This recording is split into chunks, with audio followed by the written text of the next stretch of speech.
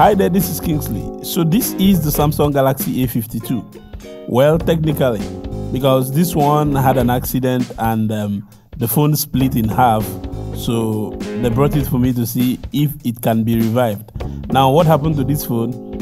Uh, I, I was told that somebody else that is very fat sat on the phone while the phone was on the bed or was on the back pocket. I don't really know what the story is, but the phone split in half or it broke in the middle and it's not coming on anymore. So they want to know if I can get the phone fixed. And honestly, I don't know if this phone can be fixed because you might not really see it on camera, but it's really bad. Almost everything is shaking.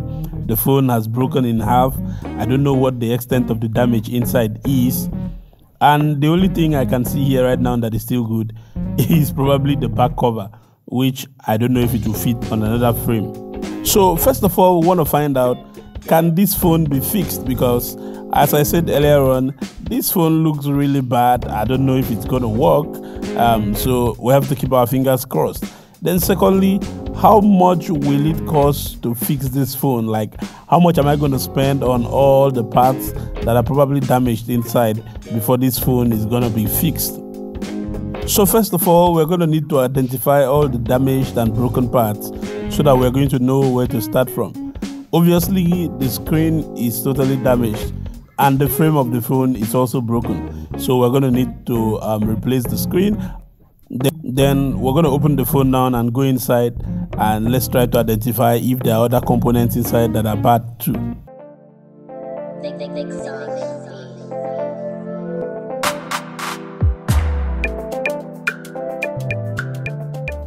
So thinking of this back cover, this is the earpiece that acts as the second speaker. This looks fine, no damage here. But first thing I noticed was that this flex right here is the flex that connects the subboard and the display to the main board of the device. Um, for whatever reason, the points where it clips to the subboard and clips to the display and also clips to the main board, they are all damaged. So this flex is totally gone. It will need to be replaced. The battery is still okay, it only flexed a little bit and I've been able to strengthen it back. It doesn't have any punctures, so the battery is still fine. The SIM tray is still in one piece, it's not broken, so it's still usable. One reason why this phone might still work again is because the main board is totally untouched. I have checked it, it did not bend, it did not flex anywhere. All the components are still sitting in one place. But that is still not a guarantee that it will work, so let's keep going. I noticed that the clip on the subboard is also damaged. This clip is where the flex connects this subboard to the main board of the device so that the device can have network um, stuff like the earpiece, the fingerprint reader will work because the subboard controls all these components. So the subboard will also need to be replaced. So as it stands, we need to get a new display, a new frame, a new subboard, and a new network cable.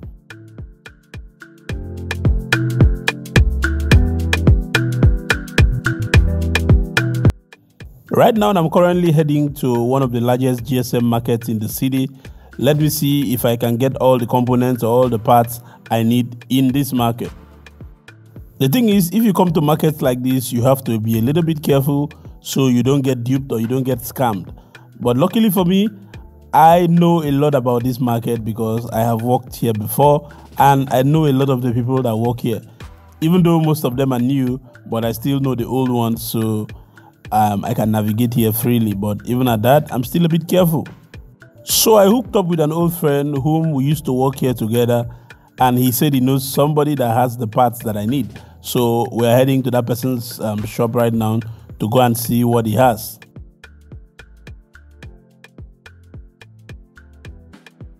So we arrived here and met this guy. It turned out that he himself didn't have what we were looking for. He knew somebody that had a broken down A52 that we could use for parts.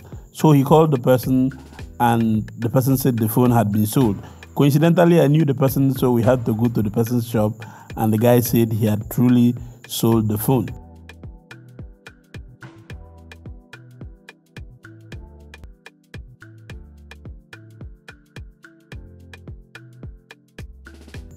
Then we met this other guy that had an A51 and said that the flex cables were the same, only for us to go to his shop and he opened the A51 he had. I checked it, the flex cables were not the same, so we had to move on from there. So from there, we went to this guy's shop who basically sells only scraps, like he sells phones that you can use for parts. And he too didn't have the parts for the A52. After spending three hours looking for all the parts, eventually I couldn't find any. Seemed like the A52, the parts were scarce or were not really available in the market.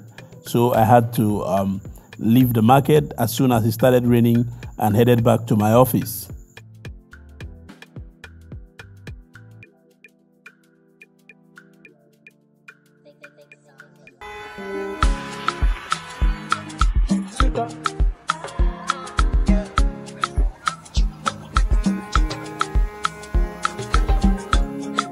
The next morning, the weather was good, so I continued my search. I went to a different GSM market this time. This particular market is where you have the um, care centers for almost all the brands Tecno, Infinix, Vivo, they all reside in these big plazas you see. So I put a call through to a couple of my guys I knew at the Samsung points and they were willing to help, but they didn't want to appear on camera. So I just went in there and they were able to hook me up with all the parts I needed. I got the screen, I got the flex cable, I got the subboard, and I got the network cable too. So I headed back to the office to go and assemble the phone and see if it will work with all the parts I got. So this is the display I got. This display comes with the frame already and it has some um, parts built into the frame already like the volume keys and the power button. It's important when you are fixing a phone like this that you use 100% original parts because if you don't use original parts, the phone will work, but you won't enjoy the phone like you're supposed to enjoy it. One of the ways we are going to know if this display is original is for the in display fingerprint reader to work because if it's not an original display, that in display fingerprint reader is going to find it difficult um, capturing your fingerprint from the glass.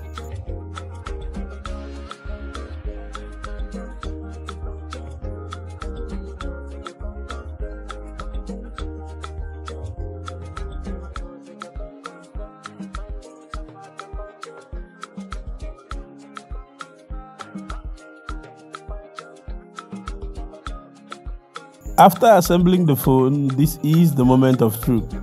And miraculously, the phone actually came on. And the other fear I had was will the phone boot up to the desktop? It eventually booted and everything was working fine, but there was a problem. The cameras won't work. If I tried to take pictures, all I saw on the camera app was error. I had to remove the camera and clip them again afresh. So I tested them again, and this time all the camera lenses were responding accordingly.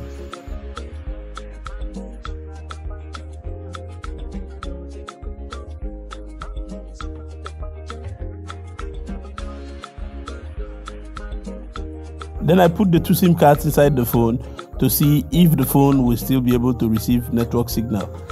And it was working. Both 4G, 3G, and all the network bands were still intact. Finally, it was time to test the fingerprint reader, the in display fingerprint reader, and that one too was actually working 100%. And that is because this display is an original display and the subboard too is an original subboard. If any of these components are not good, the in display fingerprint reader will most likely not work. So I coupled the entire phone and the phone was as good as a brand new phone. And it's been several days now I haven't received any call to say this is not working and that is not working. Everything in the phone is working 100% and the owner is enjoying the phone. But the problem with repairs like this is that the phone will no longer be water resistant. So if you go and fix your phone in any form, as long as the phone was open, the phone will no longer be water resistant, so you don't have to take it close to water, else you're going to damage the phone. We fixed the phone, the phone is working, right? So, how much did I spend in total to get the phone fixed? I bought the display for 65,000 naira, which is around $120. I bought the flex cable for 7,000 naira, which is about $12. I bought the subboard or the charging port for 12,000 naira, which is about $20. And the network cable I bought for 3,000 naira, which is around $5. So in total, I spent 87,000 naira to get the phone fixed. Now, some of you might wonder why will somebody spend such an amount of money to fix a phone that if you add another hundred dollars inside, you can buy a used one. Well, the thing is this: most people fix their phone not because of the phone itself, but because of the valuable informations they have inside the phone. So that is why most people will go that length to make sure they get their phone fixed, just because they have precious um, data and informations inside the phone that they want to retrieve or they don't want to lose. So, my name is Kingsley. If you like what you've watched, please don't forget to hit that like button and also subscribe, alright? I'll see you again in the next video.